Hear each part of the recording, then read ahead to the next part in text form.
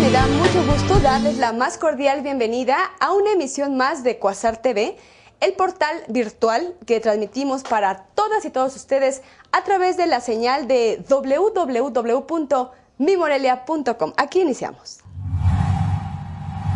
Alrededor de las 15 horas 3 de la tarde de este jueves se reportó el descarrilamiento del tren a la altura de la tenencia Morelos de Morelia. El tren de la empresa Kansas City que trasladaba contenedores hacia la costa del Pacífico al puerto Lázaro Cárdenas, vio detenida su marcha al salirse de la vía varios de los vagones. No se reportan heridos hasta el momento, las autoridades de protección civil salieron ya para verificar qué contenido tienen estos vagones y tomar las medidas necesarias. Asimismo, personal del Centro Michoacán de la SCT, encabezados por su director Mario Alberto Zarazúa, se trasladaron al lugar para recabar los primeros datos de este descarrilamiento. La información completa en los recuadros de la derecha. El gobernador del estado aseguró que gracias a un protocolo de seguridad que recientemente instalaron los cuerpos de seguridad al interior de los penales, se pudo dar respuesta oportuna a la balacera en el Cerezo Franco Rodríguez de Morelia. No fue grave, sin embargo, desde un día, eh, unos días antes, tuvimos una reunión todos los, con todo el gabinete de seguridad, con las autoridades federales también, en virtud de que los acontecimientos de Zacatecas nos obligan a tener un protocolo que nos permita estar muy atentos para intentar que eso no ocurra en Michoacán. Responsabilizó directamente a los reos de la presencia de armas dentro del penal. Para Cuasar TV, Fátima Miranda.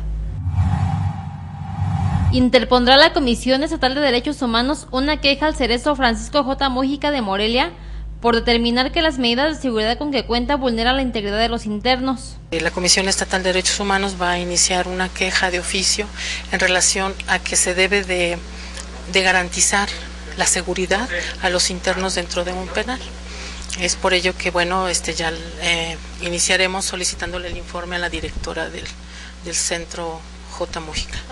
La visitaduría de la Comisión Estatal destacó que el uso de armas de fuego durante una riña entre internos dejó en claro la falta de mecanismos adecuados para evitar la entrada de objetos ilegales al interior de este centro penitenciario. Para Guasar TV, Sandra Sáenz. Autoridades de los tres poderes de gobierno y de la 21 zona militar rindieron homenaje al general Lázaro Cárdenas del Río por el 114 aniversario de su nacimiento en el obelisco que lleva su nombre. Con ofrendas florales y guardia de honor, los funcionarios estatales y municipales rindieron culto a uno de los gobernantes más reconocidos por el pueblo de México. Porque más que ser fundador de un partido es un estadista eh, extraordinario del siglo pasado.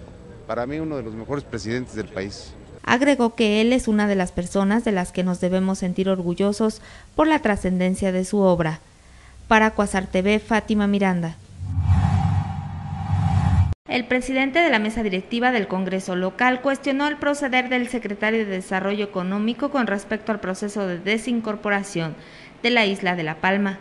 Ha habido un desaseo sobre todo de información por parte del gobierno del estado encabezado por en este caso por este, Eloy Vargas Arreola donde se le ha pasado tratando de dar información patito al Congreso del Estado, donde nos ha tratado de mentir y nos ha mentido. Explicó que ha habido diversas inconsistencias y propuso que la desincorporación sea paulatina.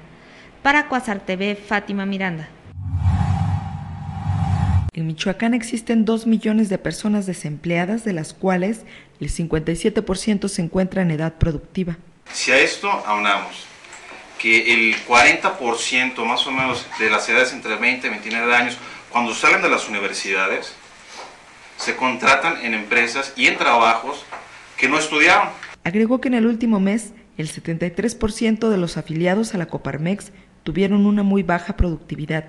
De este 73%, el 31% redujo jornadas de trabajo, este, inclusive tuvo eh, gente que despedir por la situación en la que se encontraba.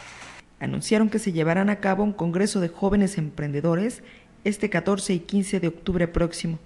Para Cuasar TV, Marina Martínez. A sus 51 años de edad, Irma Navarro Correa lucha con el cáncer por segunda ocasión en menos de cuatro años.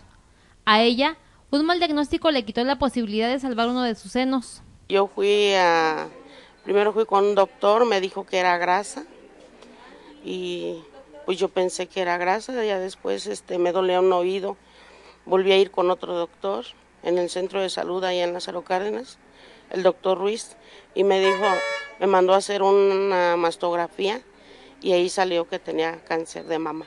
Actualmente, el Centro de Oncología atiende diariamente a 120 pacientes en radioterapia y con esta nueva área para mujeres se contempla realizar en promedio 15 cirugías mensuales a mujeres con cáncer de mama o cervicouterino para disminuir la mortalidad que ocupa el primer lugar en Michoacán. Para Coasar TV, Sandra Sáenz. En esta etapa se está evaluando a través de la reforma académica universitaria la propiedad intelectual, es muy importante que todo el desarrollo científico que se genera en la universidad sea susceptible de patentarse. Nuestra universidad no había entrado en forma colectiva en esta cultura. Y queremos que toda la investigación que se desarrolle realmente pueda tener frutos que se pueda patentar sobre todo desarrollos tecnológicos. Explicó que un número importante de universidades vive de las regalías de sus patentes y refirió que es necesario que las y los investigadores aprovechen sus conocimientos para evitar que sus ideas sean copiadas. Con información de Fátima Miranda, informa Cuasar TV. Ciudad de la Memoria fue el título de la poesía que ganó el concurso convocado por el Ayuntamiento Moreliano para conmemorar el 468 aniversario de su fundación Gano un premio de poesía en una capital de un estado que tiene la más amplia de las tradiciones poéticas y que tiene una de las más ricas tradiciones literarias de toda la República. Entonces mi primera reacción es de sorpresa. Asimismo premiaron a la ganadora del concurso de Juegos Florales, Gisela Noemí Linares Ortiz. Las autoridades hicieron hincapié en la importancia de rescatar el arte y la cultura en la ciudad. Para Cuasar TV, Fátima Miranda. Policías ministeriales de Michoacán detuvieron en el municipio de Zacapu a 10 personas que se encontraban talando madera en forma clandestina. Al requerir a estas personas y pedirles eh, eh, los documentos que avalaran la, la tala legal de, estos, de este producto, no lo obtuvieron. Al ser detenidos, los sujetos tenían en su poder dos camiones, uno de ellos cargado con 32 trozos en largas dimensiones de la especie de pino, además de equipo para talar árboles. Eh,